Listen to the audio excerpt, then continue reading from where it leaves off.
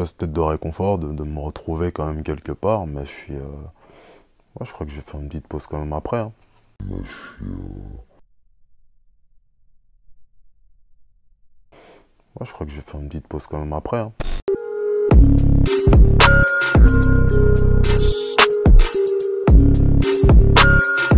C'est chiant Comme si mon appart ne coûtait pas assez cher il y aura peut-être un nazi ou un traître qui se reposera à côté de ma tombe en vrai c'est un peu embêtant.